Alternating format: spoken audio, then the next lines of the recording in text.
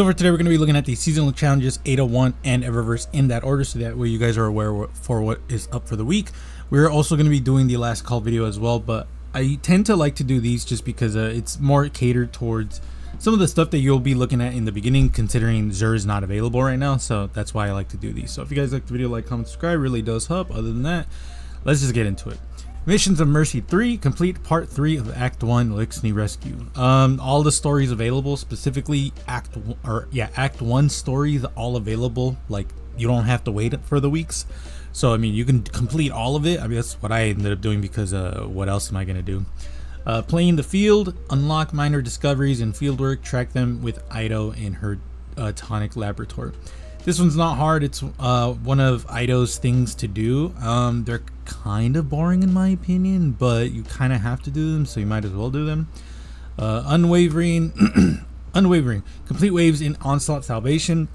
Unfortunately, this doesn't work, work retroactively because if it did, I would have completed this already because I've been playing a lot of Onslaught. At least last week I was. This week I've been playing more World of Warcraft. Throne World activities in the Throne World complete bounties and earn progress by completing patrols, public events, and looting lost sectors. Just do stuff in, th in Throne World. That's really it. And then High Value Hunter defeat powerful combatants in Gambit, earn bonus progress for defeating high value targets. Yeah, I'm not gonna explain this. People are probably not gonna do this, which is completely fair. Um, Gambit really doesn't offer anything crazy for people, specifically like yeah, especially people who don't like Gambit. For me, I don't really mind it. I just wish they gave us more stuff. To be fair, like I'm gonna be pretty happy because we're getting bygones, or I have bygones, I think. So yeah, uh, demo and Firefly. This is gonna be good for PVE, but I wish they gave us a little bit more. Like maybe, maybe a new armor set, an ornament, weapon ornament. Um, there's a bunch of stuff they could give us. So, and that's not just for Gambit, like Crucible and all the other stuff. Um, for the fit for the video, it's this again. I haven't really played like I said, so if, like honestly, I might as well show you guys um, a new one. And this one is from. This is the other set that I made for it, so might as well show you guys because I will be making this video soon. But uh, uh, yeah. So this is the new helmet, uh, Mask of Fealty. I'm most likely going to be pushing this video up by the end of this week, hopefully. If not, I mean, I, I will have content for you guys.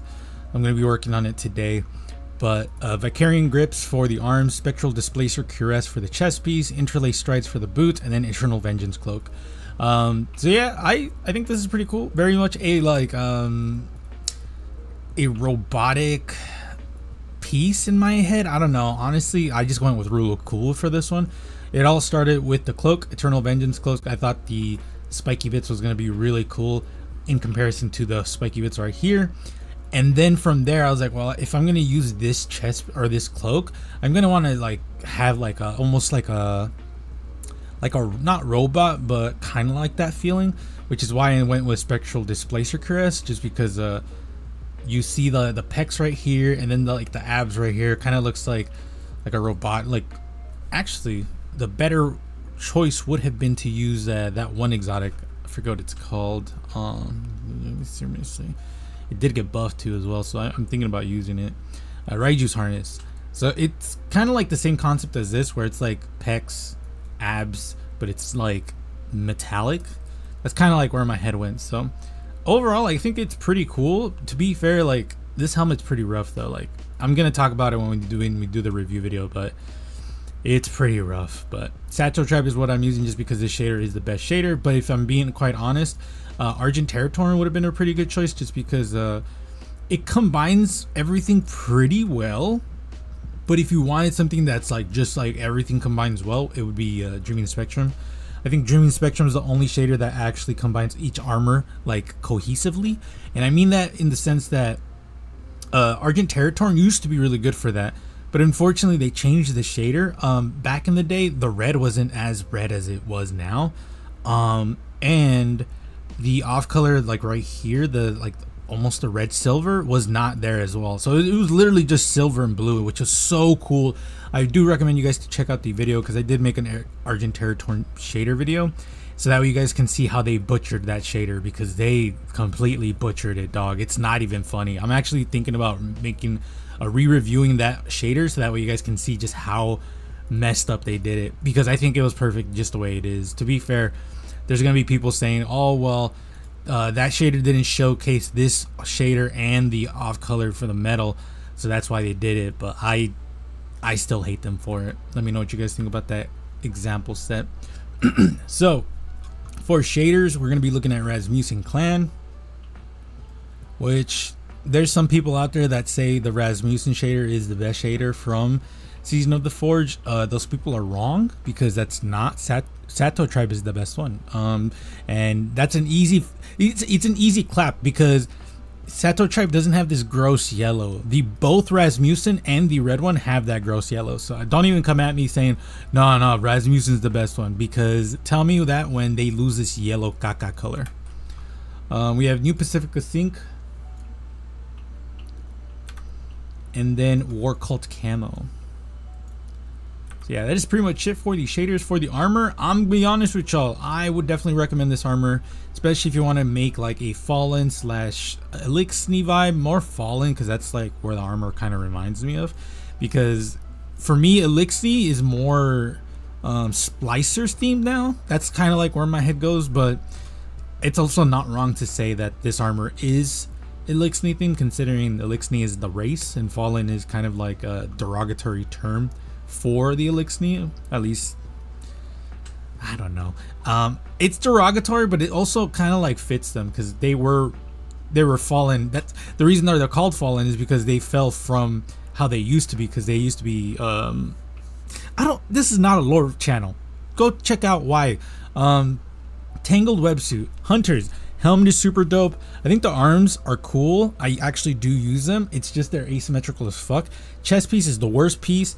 Boots are pretty cool, and I think the cloak is cool. It's just you have to be mindful of shadering because some shaders look really good with it and some shaders look really really bad with it so just be mindful of what shaders you put with it titans i think the helmet's pretty cool i think the arms are decent the chest piece is super cool boots are meh like very very meh and I think the mark is probably the worst piece, but that I still think it's pretty decent. Warlocks helmet is pretty dope. The arms and the boots are pretty boring. Chest piece is pretty cool. And I think the bond is probably one of the coolest bonds in game. Like not even joking. So let me know what you guys think and if you guys are going to be picking any of these armor pieces up. As for Eververse, we're looking at Argent Territory. Funnily enough, I didn't forgot they were selling this one. Um, yeah, super dope shader. I mean, it used to be a super dope shader. Now it's just a shadow of its former self because, again, I'm not the biggest fan of this red. I feel like if the red was like a really, really like off off color, that would have been cool. Um, honestly, I would have, yeah, yeah. I just I'm not the biggest fan of the red. Maybe if it was like a darker red, maybe like a magenta. Mag magenta's red, right? It's like a red. Hmm. Yeah, if it was like a darker red, I feel like that would have been way better. And honestly, this like off color, that like red silver, if it was if it was a little bit better, I feel like it'd be cool. But overall, like it still looks really good if you lean into the blue and silver, um, which is terrible. Uh, dyed finality, which cool, very much cool. We have Unchained, and then we have Misthios cloak, which this cloak is fucking cool. I love this cloak. It's one of my favorite cloaks. Um, let's go to the other classes so that way you guys can see that because I want to make it a habit to actually show you guys um, all the guardians because I don't want to just show the hunters because I'm a hunter main, I know, but there's more to the game than just hunters, sadly. So, here, I just passed it. Wolf Kiss uh, mark. This is a cool mark. I definitely recommend it, especially if you're going for a Viking themed. This is gonna be the one. It looks super super dope. And then Warlocks, um, I kind of don't even want to look at yours because it's just a bond, and I honestly don't even use that bond. Um, here it is. Yeah, kind of boring in my opinion. Um, if they really wanted to wow me, you they would have daggers here, because you know you're an assassin, Assassin's Creed. That would have been cool. Um, yeah, this just this is bad. so Warlock's getting a bad bond. Never. They never get that. Whatever. Uh, for the stuff at the bottom, we have raised voice for choir of one, which I am definitely thinking about getting just because making fashion for this would be fun. Even though 80% of the people that did fashion for this will probably be using the same pieces that I'm thinking about using. Uh, red veteran. Does it change color? Yeah, that's what I thought. If the red didn't change color, I would have been like, whoa, that's weird considering the hunter's cloak doesn't change the color at all. Um, Alpha Zulu, which I fucking kind of want this shit. This, dude, like, this is legit cool as fuck. I kind of want it. Yeah, this looks metal. My only thing is, like, would I use it? And in my heart, I know I wouldn't use it. Even though it's cool as shit, I already have, like, certain ship sparrows and ghosts that I always use on my hunter. Um, so I probably would use it on my warlock, but that makes no sense considering like I know I never really do tactical for for my warlock. This is like where how deep I go into fashion. Like I would only use this if I was if I had a tactical set for the guardian that I'm using it. So like maybe my titan could wear this or have this. Honestly, fuck i do can you imagine if we if the cockpit was actually like our home and we had our own personal space in here? God i'm gonna make a, a destiny destiny 3 fast uh wish list video and that's gonna be in that fucking video because i would want that so bad. Um caramel shell. We have jaunty dance. Birthday cake And then for the transmat effects, we have virtuous or vit vitreous entrance, uh, nightmare emergence, vex arrival, and then boreal char. I like this shader. It's one of my favorite shaders. It's a really good green. Just be aware that the off color is white right here for the cloth, and then white for the plate, which is weird. different whites, obviously. Iridescent coral. Verdigris. What the fuck is that color? It's like a really dark bronze. And then Sunrise Warrior. So that is pretty much it for everything. Let me know what you guys are going to be picking up. I am currently working on a bunch of stuff. Why is it telling me? Oh, I can go and Oh, let's do that real quick while I'm talking to y'all. So yeah, um, this is the end of the video if you guys want to check out. I appreciate y'all coming to this point. So I've been working on a bunch of stuff. the exotic videos, I still haven't done them because uh, I've been playing a lot of World of Warcraft. I might as well show you some of the raid things, uh, some of the raid content that I recorded. I'm currently doing the normal for the current raid. It was a lot of fun. I ended up getting uh, a ring that everyone and their mom wants which is hilarious because uh, I didn't even know that was that good. Uh, so yeah, I've been playing World of Warcraft um, to the point where I'm actually gonna start pushing pretty hard into it because uh, I'm gonna want to get some transmog in there because obviously the me being the person that I am owning a Destiny 2 fashion channel, I'm gonna go for fashion in that game. So um, so that way I can post some more content for World of Warcraft fashion because I do enjoy the fashion in that game. I just have to make a introductory uh, video for it first, which is what I'm gonna do for all of the games that I do fashion, where where when I want to start a fashion thing for it, because uh, World of Warcraft's fashion, I have rules when it comes to like certain games fashion, and World of Warcraft is pretty funny because uh, it's some people are gonna kind of get annoyed, especially if they follow like some of the rules that I have because uh, Destiny 2 I have certain rules that I follow. And in World of Warcraft, Warframe and Final Fantasy 14 I don't have those rules because uh, they like for example one of my rules would be and I, I talked about this before is um, I don't like to combine more than two pieces of an armor set. Um, so for example Spectral Displacer I don't like to do something like this So yeah, I don't like doing stuff like this because you're essentially just wearing one set with two pieces. Um, for World of, for World of Warcraft and Final Fantasy 14, and to a certain extent Warframe as well, um, I actually don't mind it at all because there's there's different reasons that you would want to do that for those games, specifically for Final Fantasy 14 and World of Warcraft. there is, and, and I used to do this for Destiny 2, but they kind of changed how they do the difficulty in this game. But for example, I'm almost, I've almost completed the normal armor for the the raid. Uh, I would a thousand percent use like 80% of that armor and then 20% other stuff and i would think like okay that's cool because there's a difference between like in destiny 2 where the where the fashion's just kind of like there really is not a lot of difficulty to, to acquiring a lot of this armor aside from like the raids and dungeons and even then it's not difficult. It's more the most difficult part is just getting people to do the raid with you.